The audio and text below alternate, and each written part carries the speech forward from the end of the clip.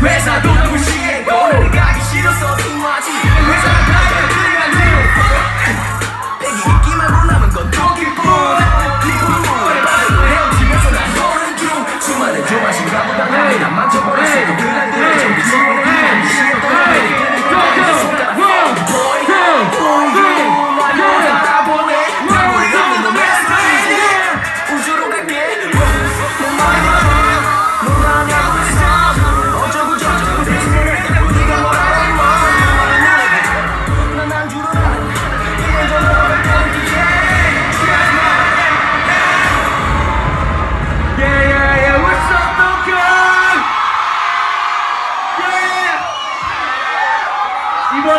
어... 어...